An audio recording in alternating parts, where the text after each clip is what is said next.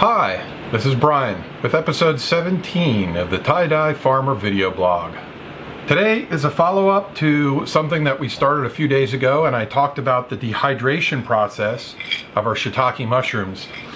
Now that we got them in a jar and dry, today I'm going to be vacuum packing them. And what I'm using today is something that can be commercially bought, bought called a vacuum canner. I actually built this device many years ago. Uh, for people that don't know, my background is theater and technical production. So sound, light, video, scenery.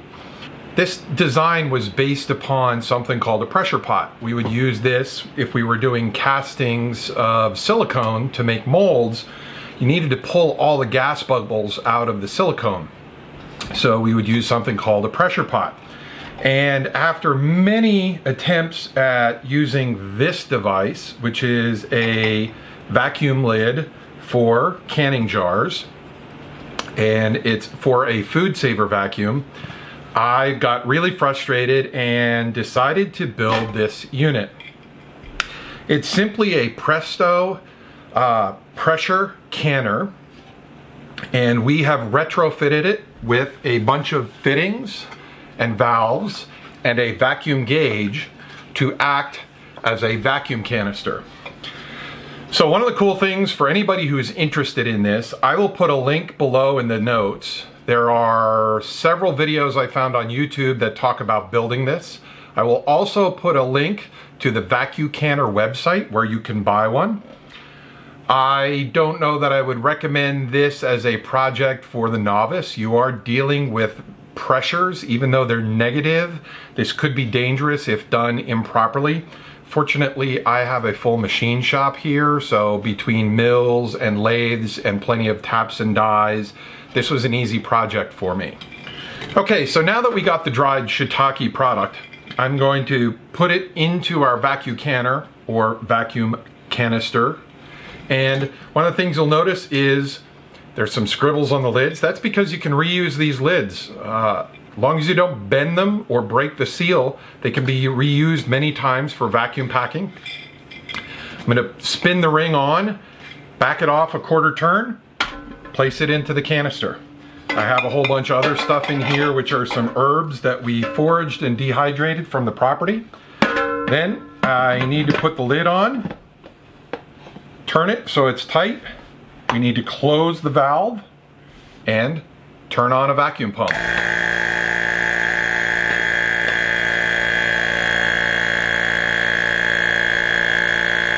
And wait, and wait, and wait, and wait until the gauge makes it all the way around.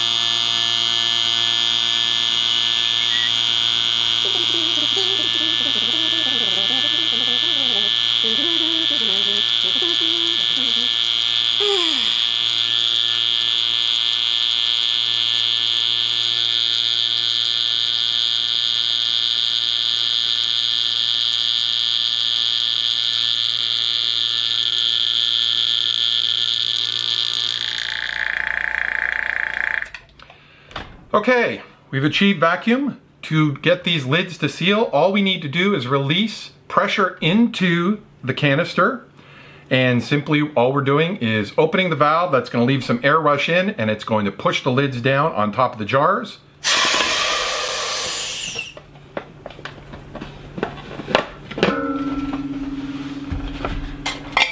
And now we have an extremely strong vacuum. Uh, want to look up the details on how strong this is compared to the Food Saver. I did that when I first built the unit. Significantly stronger than a Food Saver vacuum. This unit here is a vacuum pump. It's typically used in the AC and automotive industry, that being air conditioning and HVAC type units. They use these for pulling out HVAC uh, fluids, I believe but the strength of the vacuum on this is substantially stronger than what you're going to get in a standard run-of-the-mill food saver. And that gets back to one of those things I've talked about before. get the best tool you can. We started with Food Savers. I think we went through three of them before we finally decided to buy a commercial unit, which probably would have cost about the same as those first three Food Savers. So it really is advantageous. Anyway, you can take the rings off at this point, or you can leave them on if you really feel like you might knock this lid off, but it isn't anything that you need to worry about. The amount of oxygen that is in this is so low because of the strength of this vacuum.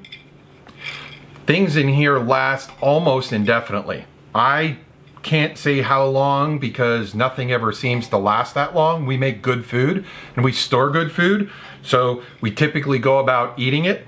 I know that we've done, I think I have garlic that we shaved and dehydrated from three years ago. We did lose our garlic seed several years ago, so we're still using garlic and it tastes just as good as the day it went in. I know we've also done dehydrated apples two years ago and it was another one of the deals, same thing, came from the same place the mushrooms did. Uh, got a phenomenal deal. I think we bought five cases of Granny Smith apples, and uh, I want to say that we might have spent five dollars a, a case on them. We ended up with gallons. I mean, I at least two cases of these half-gallon jars filled with dehydrated apples, and we're still using them. They taste just as fresh as the day they went in. So. I'll put a link in the, the show notes here, uh, take you to the vacuum canner site. They'll also take you, put another link there that will take you to a YouTube video about a guy building one of these. I'm sure I could do it, but since the video is already there, I'm not gonna waste my time. I'll let you guys take a look at somebody else and I can get on to some other stuff. It's been great doing this. I love participating in this community of homesteading and sharing my experiences. It's been it's been a great thing because it keeps me accountable. It keeps me wanting to do something new every day. Anyway, thanks for joining me on the Tie Dye Farmer video blog. This is Brian. Have a wonderful one.